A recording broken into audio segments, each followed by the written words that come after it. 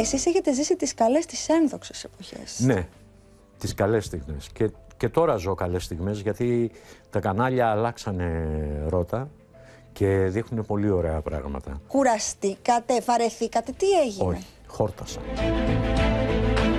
Είστε ένας άνθρωπος που έχει συνεργαστεί τόσο στην τηλεόραση όσο και στο θέατρο, αλλά ήσασταν και πολύ στενός φίλος με τον Πέτρο Φιλιππίδη, Ναι. ο οποίος είναι προφυλακιστέος. Πάρα πολύ.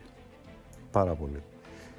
Δεν μπορώ να πω έπεσα από τα σύννεφα, γιατί κάποια πράγματα τα έβλεπα, αλλά δεν, δεν μπορούσε να φτάσει στο μυαλό μου ότι ήταν σε τέτοια έκταση, ας πούμε, όταν μετά ε, προβλήθηκαν αυτά από το Μητού.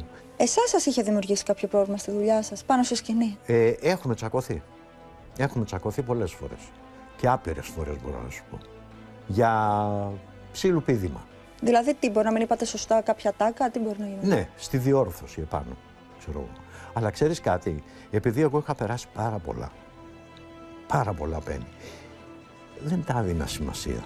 Δηλαδή, έλεγα μέσα μου, λέγε, λέγε, θα το κάνω όπως το λόγο. Έβγαινε εκτός εαυτού. Για ποιο λόγο ξαφνικά; Για μηδαμινό λόγο θα σου πω.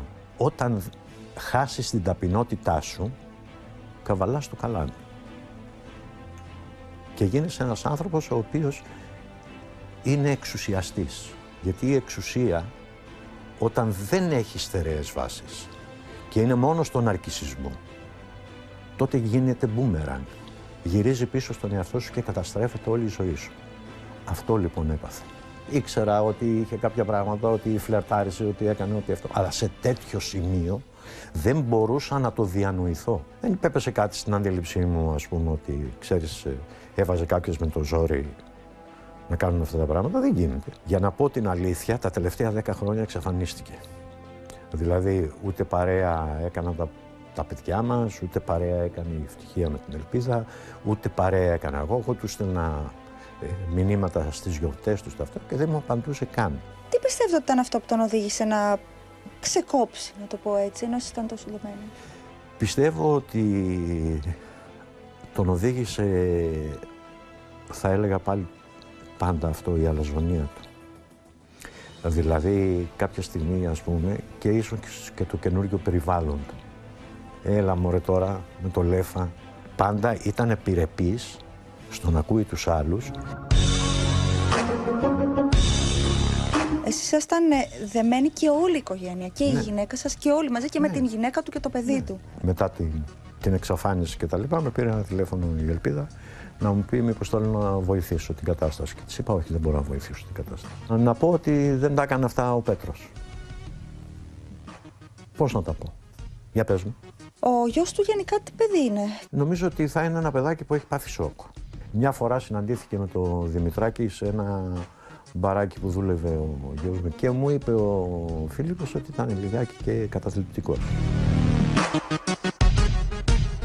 Έχετε όμως συνεργαστεί και με έναν άνθρωπο, ο οποίος ήταν από τους πρώτους που τον κατήγγυλαν. Ναι, σόκαρε. Ποτέ δεν μου έχει δείξει τέτοιο πράγμα. Δεν το περιμένεις από αυτόν τον άνθρωπο. Για το πόσο καλοσυνάτος ήτανε και για το πόσο, ε, πώς να σου πω, ευγενής, πολιτισμένος, αυτό. Και μου ήρθε δηλαδή κατά κούτελα. Εσείς κύριε Λέφα, τόσα χρόνια, έχετε πέσει ποτέ έτσι θύμα λεκτικής βίας στο θέατρο; Ναι, πολλές φορές. Θυμάστε κάποιο έτσι Και περιστατικό; σεξουαλικής παρενόχλησης. Αλήθεια. Βεβαίως. Ήμουνα, όταν στα νιάτα μου ήμουνα πάρα πολύ λουκουμάκι για όλους αυτούς. Θέλετε έτσι λίγο να μου, Με το να, ξύλο. να μου διηγηθείτε; Με το ξύλο μόνο. Χαστούκιζα.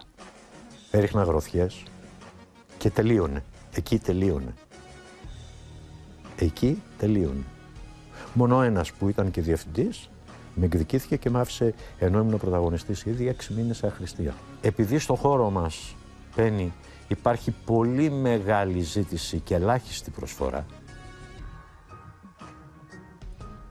οι άνθρωποι είναι με σκυμμένο το κεφάλι. Και δεν είναι το, το σκυμμένο το κεφάλι η ταπεινότητα που λέγαμε προηγουμένως. Το σκυμμένο το κεφάλι είναι ναι. Βάραμε, πα- ε, αγάμι να γιάσω. Εγώ εκείνη την εποχή είχα ένα καλό άγγελο αυτός ο άνθρωπος λοιπόν μου έλεγε Γιώργο, ε, σταμάτα να είσαι έτσι τώρα, ε, σου έχω ένα δώρο. Θα απόψε το βράδυ θα βγούμε με τη Λαμπέτη. Της είχε μιλήσει και της Λαμπέτη, ο άνθρωπος αυτός, και μου έλεγε μη σε πτωεί τίποτε αγόρι μου. Μπορείς να κάνεις όλα. Όλα θα τα κάνεις.